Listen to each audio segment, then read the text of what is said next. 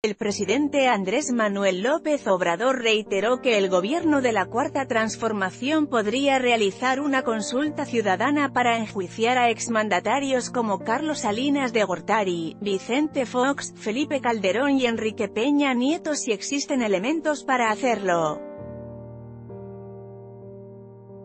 Tal como te informamos, el pasado 30 de diciembre AMLO aseguró que en su momento externaría su opinión para juzgar a los expresidentes, y agregó que aunque hubo investigaciones contra ellos no dieron ningún resultado, por lo que la decisión sería de los mexicanos.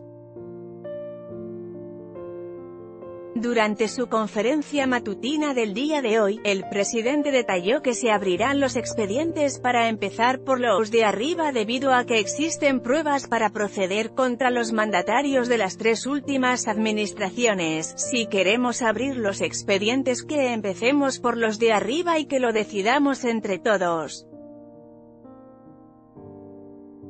Y para ser más claro, si queremos, es una consulta para enjuiciar, si existen elementos, desde Carlos Salinas hasta Enrique Peña Nieto, pasando por Ernesto, Cedillo, Vicente, Fox, Felipe Calderón, si queremos eso. Luego de las polémicas revelaciones durante el juicio contra Joaquín El Chapo Guzmán en las que Peña Nieto y Calderón Hinojosa fueron mencionados por su presunta complicidad con el antiguo líder del cártel de Sinaloa, la demanda social para que los expresidentes sean juzgados se incrementó, según The México News.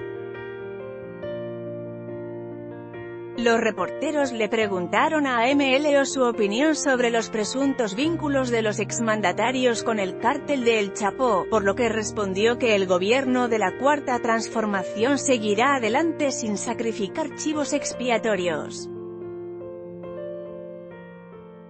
AMLO aclaró que su postura desde la campaña electoral es muy clara, y recordó que él dijo al tomar posesión como presidente que es partidario de que pensemos hacia adelante para no volver a las prácticas que realizaron durante muchos años los gobiernos anteriores, políticamente mi